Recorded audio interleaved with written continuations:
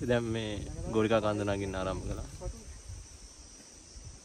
දැන් මග දුරට යන ගමන් ඉන්නේ.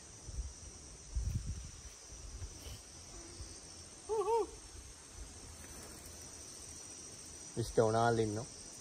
ඉසිරු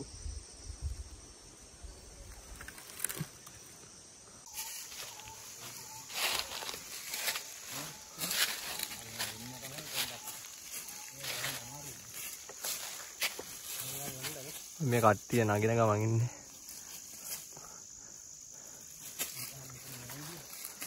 සෙට් එක නෑ නගින උඩට.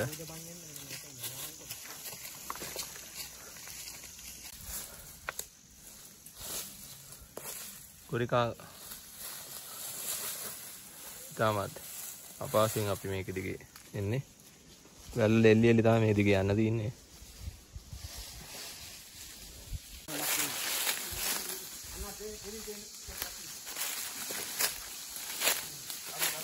ඔව් අපි දැන් මේ මාර්ගයේ ගෝරිකාන හෙරෙන් පල්ලයට බයින ගමක් ඉන්නේ.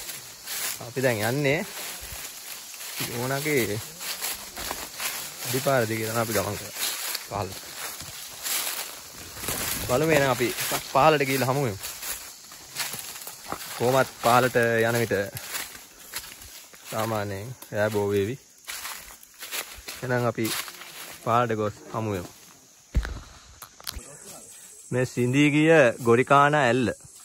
ඒ දිගේ තමයි මේ අපි බැස්සේ වතුර නැති නිසා. එනෝ ගොරිකාන ඇල්ල. සිඳී ගිහිල්ලා තින්නේ වතුර නියන් තත්ත්වයේ හේතුවෙන් වතුර සිඳී ගිහිල්ලා තින්නේ ඇල්ලේ වතුර බිඳක් නැහැ ගොරිකාන ඇල්ල.